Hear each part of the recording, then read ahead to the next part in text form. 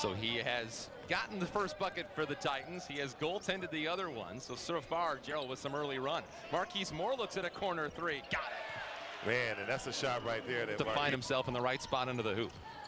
Here's Antoine now. They're double teaming him, and he lost the handle. Taken away. This time it's Simmons to the basket. Lays it up. Lays it in. Well, that's just what that's what he's going to be faced with. McFoley with the basketball wanted to get it to Antoine Davis. Instead, they'll keep it up top with Darian King. Lamar Hamrick gets it, runs to the baseline, flips it up and scores. Lamar Hamrick took some contact there. Youngstown shooting 47% thus far. Detroit Mercy just 24. Here's Antoine Davis. He's there to change that. Yes, sir.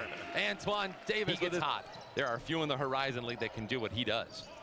Here's Hamrick, who goes up, little teardrop shot. No, it's an alley-oop, and Gerald Blackshear's there to slam it home. Nice lob that time. Darius Quisenberry has it. Already now eight for Davis after going without a basket for the first seven minutes today.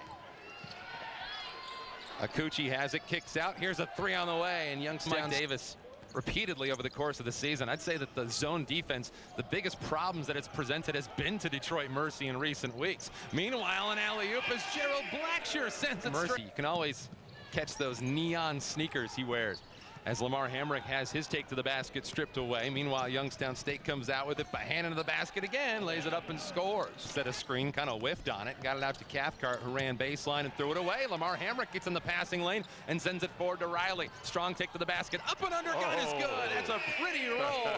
you familiar with that one there, Earl? Ha- haven't haven't heard of that one. Second free throw's no good, so they missed them both. Detroit Mercy gets it with under 50 ticks to play in the first. It's a long three for Davis, yes sir! And now Youngstown to inbound it.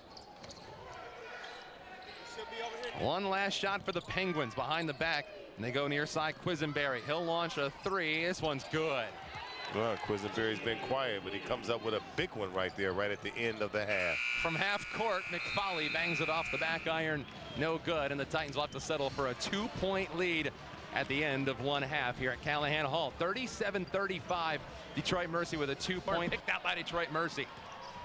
Darian King far side to Antoine Davis. Has to put it down. Now he gets his way to the basket, flips it up, missed it. Offensive rebound. There's Blackshear to lay it up and score. McFoley with the inbound. Lamar Hamrick gets it as well, but it's always a trying time to get it across half court. Hamrick to the basket. He'll lay it up. Pretty take. He takes it to the rack and score. Uh, you want to see early offense if possible, and then bring it back out. Here's Quisenberry around a Maxwell screen, drops it off by hand and has it, fires it up, rolls around and goes down, count it, and a foul. Little run now here. The Titans have been held scoreless in their last three minutes. Here's McFoley trying to change that. Gets fouled. Yes, sir! He's got 14 and 10 today. Meanwhile, Youngstown State kicks it out. They get it to the top. Quisenberry.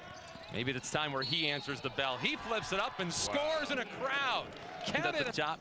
Got rid of it to Bohannon. Nearly slipped, kicked it back out. Thought he maybe traveled with it.